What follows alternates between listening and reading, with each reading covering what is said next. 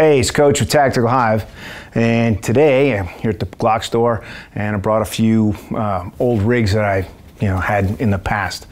You know, kind of the the evolution of the battle belt, and in, initially, uh, we'll start with this one. This was a uh, a shipboarding battle belt. Got your cool suspenders. We would wear this under our dive rig when you're going to, to the boat. Um, so this is what you would end up climbing with. Um, on this, got the old, way old Safariland pleather, whatever, you know. And then of course you would have this, uh, the shape doesn't have the, uh, doesn't have the attachment, but you'd always have your, your dummy cord on here lanyard that's in case you drop your gun. you'd be able to find it at the end of that cord.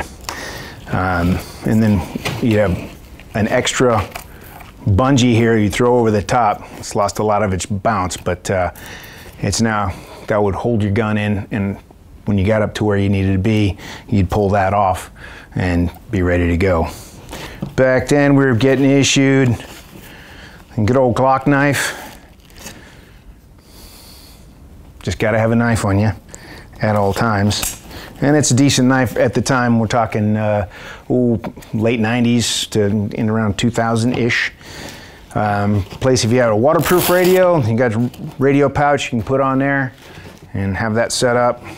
This is a waterproof gas mask bag, uh, but we'd use it for whatever you wanted to keep dry.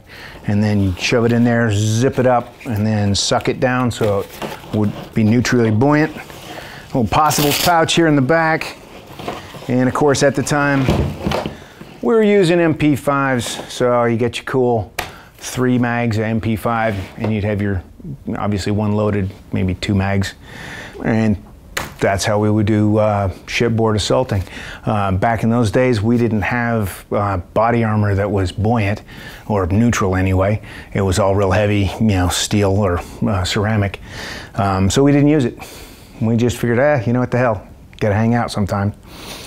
Uh, and then, let's see, we did a gear thing a while back. Um, I talked about my rig that, uh, that I wore um, when we invaded Iraq. And this is the other piece of that. This is the battle belt that went with it. Um, back in those days, we we're still figuring things out and I tended to go a little heavier. So I've just got these good old Home Depot suspenders, modified them a little bit and put them on here. Got your good padded pistol belt. Whereas this one doesn't have any pads, of course, because, well, you're wearing rubber to get there, so it wasn't chafing you too much. Um, and you don't want things that soak up water, because when you start from the water and you come out of the water, the less water you, that sticks to you, the better. So anyway, this one, we had set up, had my good old SIG 226. I'd have a light on it. I don't have a light on it now. The old bail holster. Uh, and as we roll onto this side, this is a, a catch. And as my, uh, my job was either grenadier or breacher. So if I was being a grenadier, then this would uh, uh, secure my uh, 40 millimeter grenade launcher around here, around the side, in case I needed to go throw a bomb at somebody. Um, and if I was a breacher, I had a short shotgun, about yay big, that would uh, you know just stick in there. And this one doesn't have it anymore, but I used to put a, a magnet there that would help hold it in as well. And these good 40 pound rare earth magnets are pretty badass. As we move around the back, you always can have your possibles bag here, extra gear, whatever. And I always had a, a bag in here in case uh, you needed to pull something off of somebody and you know keep it contained for one individual. There was some tags in here. So if you tag them, you say, oh, tag them and bag them. Well, there's the bag you keep it in. Rolling around, carry these flex cuffs. You have them zip tied together, put that on somebody, zip them, and then they're uh, good to go. You keep them shoved in just in one of these little holes here. If you lost it, no big deal, but And then this pouch over here, put a couple of flash crashes in here. Um, and then in the main compartment, I would have either uh, 40 millimeter grenades or a bunch of shotguns for breaching. Okay, and that's what was all set up along with the, the, the kit that I was rolling with. Of course, there's uh, your mag pouches for your pistol. And like I said, this, this one had a nice pad on it because with all this gear, there's, the chafing's real. You know, you want to make sure that that padding, uh, you know, you can, you're not going to be uncomfortable or as, as, uh, as little discomfort as possible. You're always going to be uncomfortable to a certain degree.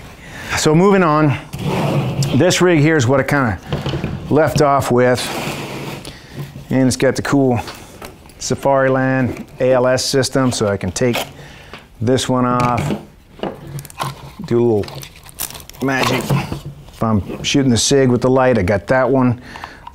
Gonna shoot a Glock 19 and just drop it right in there, and nothing else really changes. Um, again, this one has pads. Again, because the, the friction is what's going to hold that on you, okay? Uh, rolling them around the back, you know, small knife, small of your back, just sticks out a little bit. Some guys would say, oh yeah, that's a knife you're going to give to the guy behind you, but eh, never happened to me, so I guess it's, it's okay, right? Um, and then you got your first aid kit. Okay, you also going to have one um, under your plate carrier, but this is your auxiliary. So you've got more. Uh, usually has uh, tourniquets and you know stuff that you can get to. And we're just talking. You pull this tab, and out it comes in one big uh, you know handful. We roll around here. Always got to have your multi-tool. So multi-tool on the belt. I put this. Uh, this is a uh, uh, M4 magazine pouch. Um, again, it's just there. I'm not going to carry more than two pistol mags, and there was enough room there. I was like, all right, if I need an extra mag, I can shove it in there, and it's a pretty quick reload. Um, and then I got my dump pouch up here. Well, okay, got the magazine pouches for your pistol up here in front. Got two of those. And then this is just a dump pouch. Uh, a lot of guys keep their dump pouch behind them. I like to have mine right here because uh, it's just an easy move. You can drop your stuff in there. You know where it is. I'm not going to drop more than two in there, and you know I'll repopulate my chest, chest rig at some point. So it, it, for me, it worked better. You know, your mileage may vary. Um, so that that's the kit there. Uh, with this, I always had the uh, my uh, uh, leg harness. It's not really to do much to keep the gun down. Um, it just keeps the crotch of your pants up where it's supposed to be. So, you know, you can, didn't bind when you're stepping over things. Um, and then this was a knife I was just kind of playing with to see how I liked it. Jury's still out. Um, uh, and now the evolution has come along a long way. So whereas on these, you needed some padding to keep that uh, the belt comfortable. Now, uh, see this one's from Esstac, but S&S, uh, Blue Force, there's a bunch of companies out there that, that make this type of kit. So this is gonna go around you, it's gonna go through your belt loops, and that's what's gonna hold your pants up, okay? And then this one here, the outer belt, has your hooks, where this has your loops, and it locks right in there. And you know, at first I was like, ah, oh, yeah, gimmick, well, not quite sure. But let me tell you, this thing is slick, it's comfortable, and you don't need, it's not relying on that friction, it's relying on the Velcro to hold that sucker in there. So this one's from Esstac, like I said, uh, and these pouches, nice thin, they got uh, flexible Kydex or plastic in here that you know will hold on to a variety of different size magazines. So you know if you're you know run Glock one day and a Sig the other uh, another day like I do sometimes, uh, it beats having to change that stuff out. Um, and then this is their version of the uh, M4 magazine pouch. Again, really lightweight, really nice. Um, I haven't quite populated this one yet. I just got it, and so I'm doing my, uh, my gear shakeout to figure out where I want to go with that. But anyway, so this is kind of where the uh, the evolution is going. Uh, now we hang a lot more stuff on our uh, our body armor, the plate carrier, which makes sense because it's right here. Uh, and then you want to keep as much weight off of your hips as possible. You know, the reason I had these on here is as, as this got heavier, just the, the fatigue of your legs increases. Whereas, uh, you know, more on your body, maybe a backpack, and less on your belt is probably the way to go. All right, so if you're in the market for a new battle belt, kind of stay away from the old stuff here. I was just kind of bringing that for historical reference. You know, stick with the newer stuff. There's, there's a lot of good stuff out there. Do your own research, and again, your mile, mileage may vary. You know, different situation that you're you're building your kit for.